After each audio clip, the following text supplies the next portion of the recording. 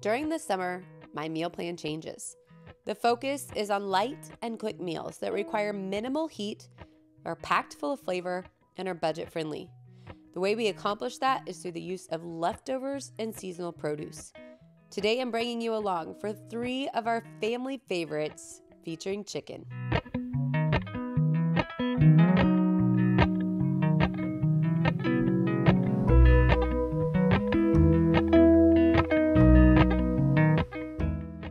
Oven roasted crispy chicken thighs are a huge hit around here.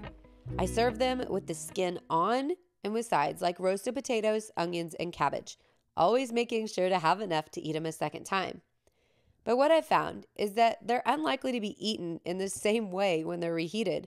The skin just does not crisp up in the same way as when it comes out of the oven that very first time in order to get them down and to make the most of cooking one time during the summer instead of multiple, what I've found is that I need to remake this chicken in ways that my whole family will love. Today, I want to share with you three of those recipes, including a chicken salad that's great on a sandwich or with crackers, a chicken Caesar wrap, and a chicken salad that is our all time favorite summer salad, which includes a few surprising ingredients. But to get started, I am prepping up all of the chicken that was left. You saw me accomplish that already. I cut it all off of the bone and then just did a small dice on it. And now I'm prepping up the lettuce.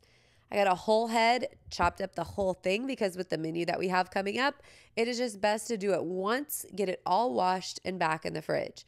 So the first thing that I did was get it cut up really nice and small because that's how my kiddos like it. I added a few drops of lemon essential oil to the water that you're seeing here, and I went ahead and put it inside my salad spinner basket. I know you can fill the whole sink full of water and let it soak, but I find that just swishing it around really good and getting it all down in there works really, really well. And once that's accomplished, because it's already in the basket, you can just strain out the bulk of the water. Now, notice how gross that water looks after washing your lettuce. If you are not washing your lettuce, you definitely want to do so because it is a little bit gross once you see exactly what all comes off of it. So once the drain is complete, the lid goes on and then you just have to pull it a few times to get the bulk of the water out. If you are new to my kitchen, this is a really good time to introduce myself. My name is Jill. I'm a mom of five. We have a busy house full of seven in all. And anytime there's something going on in my kitchen that is loud or messy or fun, there are always at least two and sometimes up to 10 extra hands involved in what we have going on.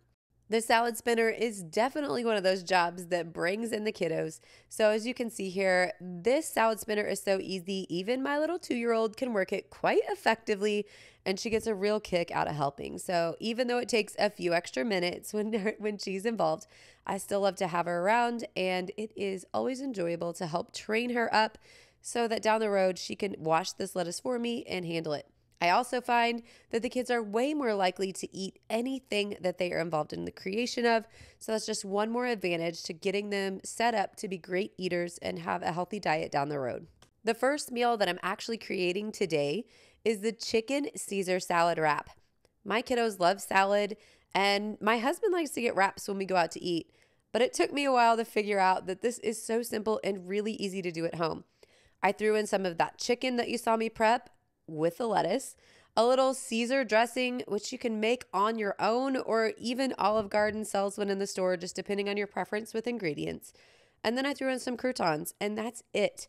So, as you can see, if your ingredients are already prepped, this one throws together very, very fast.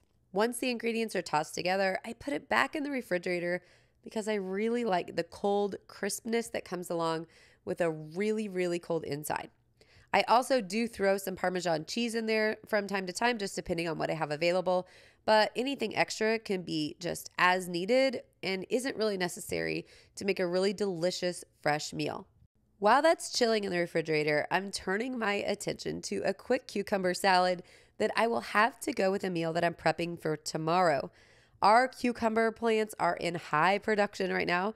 I have a couple different kinds growing out on the vine, and I love the variation that it gives a little bit in texture and flavor. They're both pickling cucumbers, but also good for slicing, so it gives us the flexibility to do whatever's going to work best for our family. The kiddos really love fresh cucumbers. We eat around 10 of these little guys a day right now. But in addition to that, our production is high enough that I can put together a quick refrigerator pickle that makes a great side dish for any meal that we have going on. Our onions are also finishing up for the season, so I have a lot of really great fresh onions straight out of the garden, and I'm just gonna do a really thin slice on those as well. Pack them right in on top of the cucumbers and press them down gently, and then add another layer of the cucumbers on top. Of course, if you want to do this in a large bowl, you can evenly mix it. But I know how my kiddos are going to go with this. They're just going to pull out what they want. So it really doesn't make a big difference how high or low anything's packed. Once you give it a good press with the fermentation plunger, everything will nicely pack down inside. While I finish up on this recipe, I do want to take just a minute to talk to those of you out there who have said you would love to start a garden, but have just never taken up the time to do it, or not sure where to start, or that you have a black thumb. I was all of those things three years ago. I'm three years into gardening right now. I have made some mistakes, but the amount of just wonderful food that has come straight out of our garden has been amazing. Even if you have a black thumb or you've killed every plant you've ever grown, you can still garden. It just takes a little bit of time, a little bit of online research, and some commitment to make sure you're watering and pulling a few weeds here or there and you can really come up with some amazing things straight out of your backyard.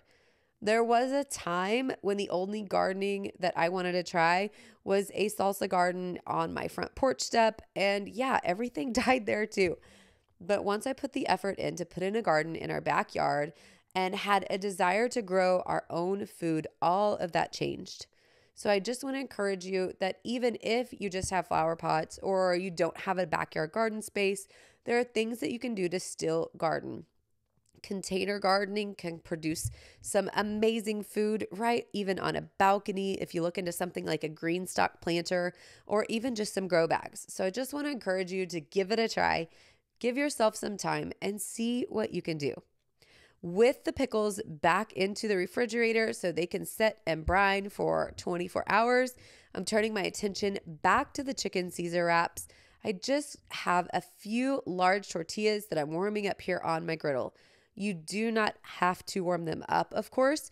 If you just want to keep your kitchen completely cool and don't want to take the time to warm these up, you can totally do that. It really is just up to you. I find that they're a little bit more pliable once they've been tossed and like the texture that comes along with that. But again, completely an option. So, with them complete, all you have to do is put the filling for the wrap right in the middle, give it a roll, and you are good to go. I did take some of our freshly sliced cucumbers, get them sliced up as well. So there was a side to go along with it.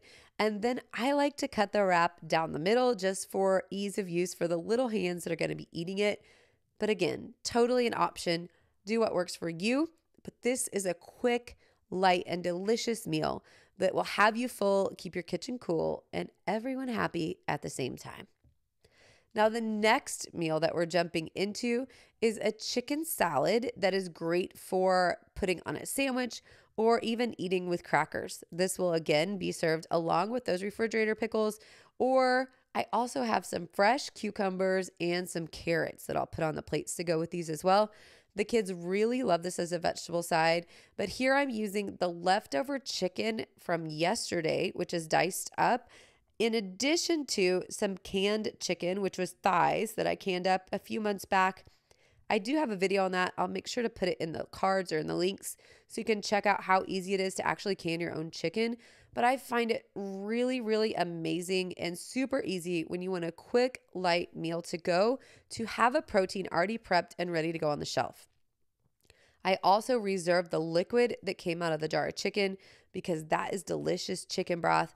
And I will save that in the refrigerator and put it to the side, cook some rice in it, or even make just a really delicious gravy with that as the base down the road for another meal that we have coming up. As for this chicken salad, I find that having the chopped up thighs as well as the canned chicken provides a nice balance in the texture. You have the chunks from the roasted chicken and then the little bit softer, more flaky texture that comes from the canned, and it makes a really nice chicken salad. So, into the chicken, I'm stirring in some homemade mayo, which we really love, and it's been great to make our own, keeping it all fresh and using up the eggs that we have coming in from our chickens right now. And then I added some Dijon mustard, some salt, pepper, lemon essential oil. I really love that instead of keeping fresh lemons on hand. I used some onions that I had chopped up and froze because those are already quick, chopped, and ready to go. You could use some green onions if you have those available. You can also add celery. I did not put any in here simply because I didn't have any in my kitchen and I was using what's available. But if you do have celery, that's a great addition as well. Makes a really nice crunch. At my house, we do not like grapes in the chicken salad, but that is totally optional. Again, you can make any of this work for your family. Over on the grill, I warmed up the buns. I did so by toasting them after adding mayo to the underneath side. I find that mayo works way better for browning bread than butter ever does. It gives it a lot crispier texture, and it's just nice to be able to use up the mayo that we had already made to get the buns done. Now, as you can see here, I'm setting down some plates. I had a couple kids that wanted a bowl of the chicken salad to eat with crackers. They're getting the cucumber salad as well as some fresh carrots, just depending on the kid. Everyone's different. And then I called everybody in to help us get cups ready to go and to get everybody up to the table. Now, this is the time when I typically take that really good up close picture so you can see exactly what the food looks like. And somehow, when I went back to edit, I realized that I did not get the camera actually turned on. So there is no beautiful shot of this chicken salad sandwich for you, but I can assure you it was absolutely delicious. If you do not have canned chicken at home, I would highly encourage it. Even if you're not canning it at home yourself, you can buy pre canned chicken and it makes an awesome meal prep, especially for summer months when you're not wanting to heat up the kitchen. Today, I'm going to use another jar of the same chicken. You see me pouring the broth into that same jar that I did yesterday in order to make our next and all time favorite meal, which is our chicken bacon salad. This is a recipe that first came into our home back when I was just learning how to eat clean and use a lot of whole food ingredients. We ordered the Blue Apron subscription box for several months after we moved back from a larger area into this really small community where we live now because we knew we wouldn't have the same restaurants available that we had back there.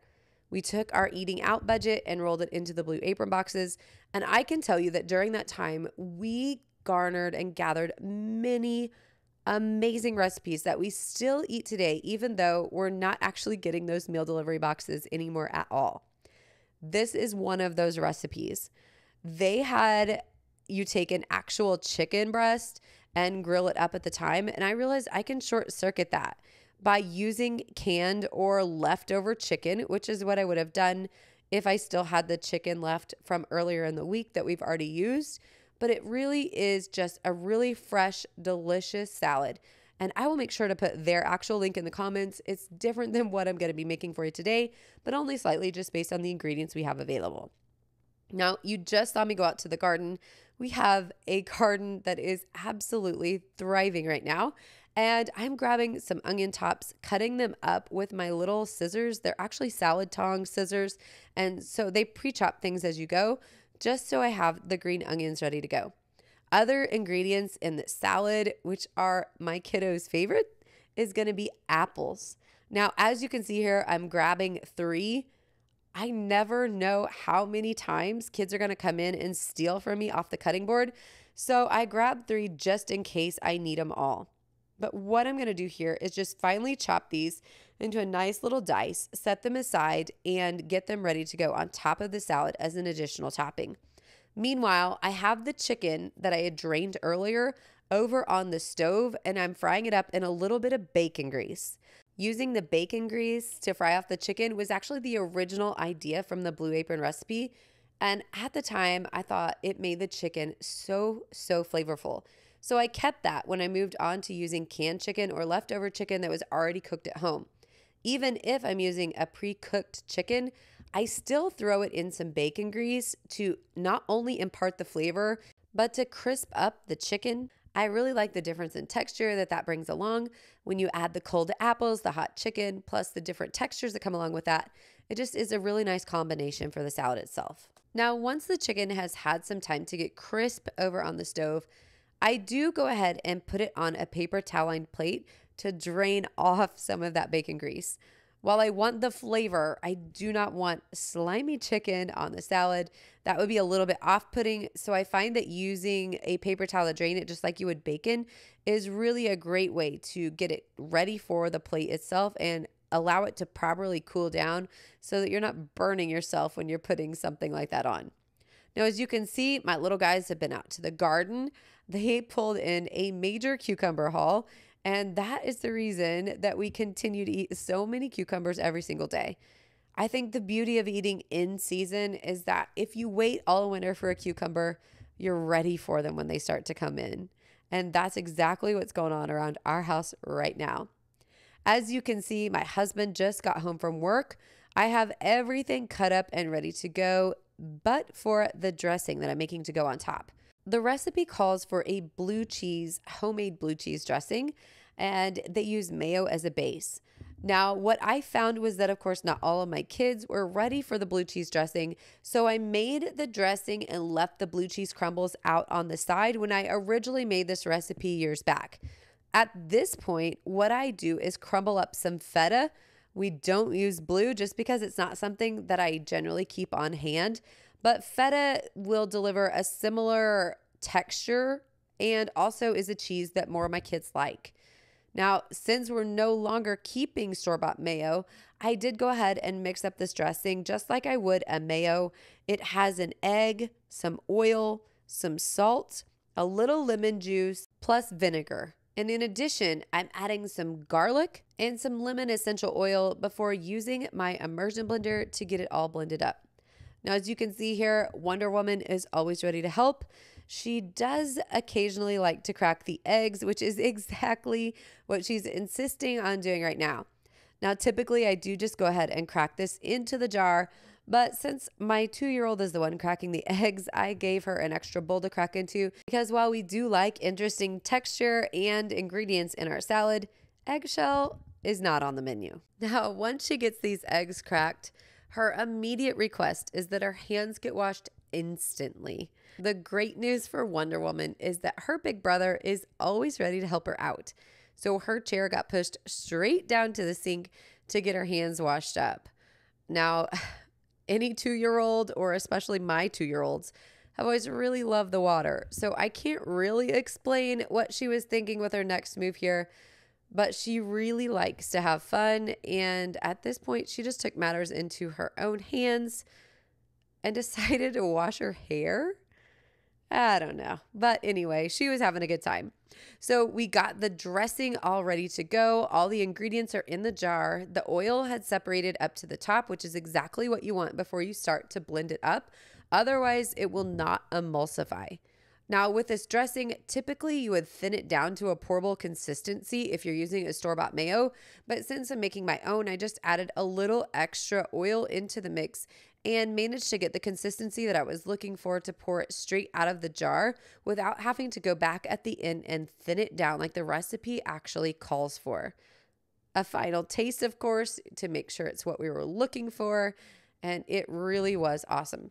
So it's time to get this all plated up. And as you can see, the number of toppings is pretty wide. So I'm taking the lettuce that we washed up at the beginning of the week and getting it back onto a plate. And I, I will add a caveat. We did eat all three of these chicken meals over a few days.